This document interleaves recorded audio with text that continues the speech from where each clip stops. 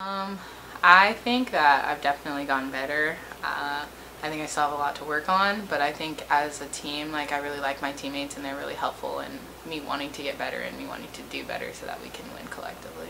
Yeah, uh, I mean, it's definitely shown in the numbers that you've, you've made some big progress this year. And it's kind of a weird spot for you. You're still an underclassman, but you know, a two-year starter now. You can really consider yourself one of the leaders of this team. Does that feel weird as an underclassman? Uh, yeah, it's just because like when we're doing stuff, it's like, oh, Keyonna, get with the freshman, or try to take one with a freshman, and I kind of think, well, I'm still a sophomore. Like there's juniors and seniors, but since we have so many freshmen and new transfers, like I guess I am one of the returners or the top people. So it's it is kind of weird being a freshman, but also being like kind of ahead.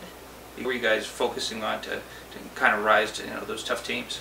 Um, definitely just focusing on like the game plan. Like if we know this person's a shooter, or if we know like this team likes to backdoor a lot, making sure that we're focused and we know what they're doing, so that we can stop them defensively, so that we can get more looks on offense, or whether that's just like boxing them out, or contesting shots, making them put the ball on the ground if they're shooters, or vice versa and just being able to execute as a team and trust each other, I think, were the main focuses of that. Well, one of the big drills I say you guys working on as you prepare for Simon Fraser. They may not be a big team, but they can they can rebound pretty well. So how are you guys preparing to try and uh, deal with something like that?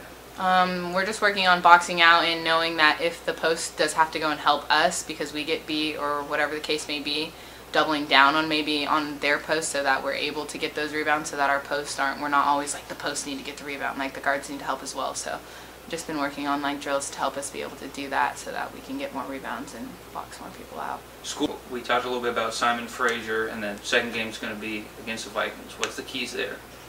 Um, we haven't talked about them as much just because we like to take it game by game.